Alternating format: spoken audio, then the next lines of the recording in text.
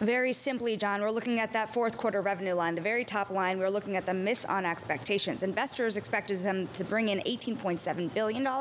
They brought in 17.4. So that is the top line number there.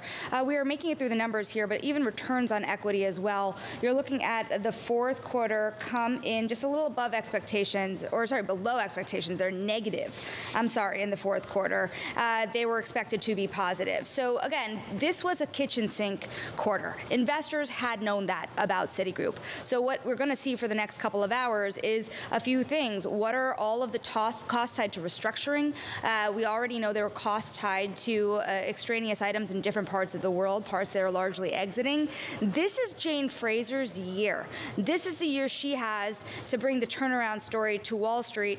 And remember, wow. we have to see what that is in terms of um, those markets and investment banking businesses, in particular, core Wall Street. The fourth quarter was very disappointing. Not my words, the words of Jane Fraser, the Citi CEO. The fourth quarter was very disappointing. Revenue coming in at 17.44 billion, the estimate 18.68. Sonali, as you know, investors won't pay as much attention to this because these are yesterday's results.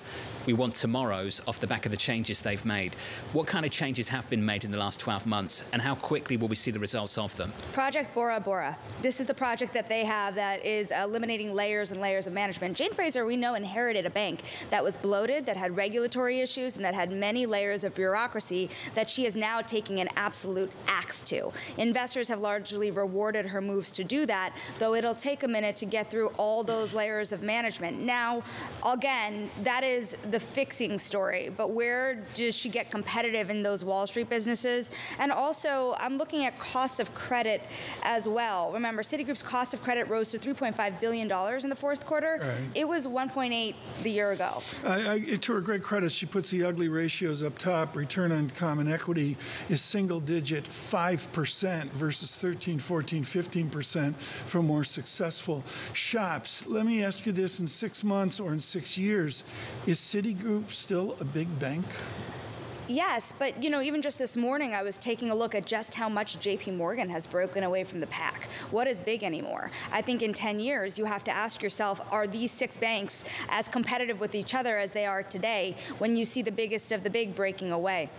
Citigroup has won on being a big global bank. The most profitable and exciting, if you will, business they have is their treasury and trade solutions business, which really makes its money from global internationals. But as we've seen from the losses they've taken uh, tied to Argentina's currency fluctuations, uh, operations that were tied to Russia, again, largely businesses that they've exited, it's hard to be a big global bank.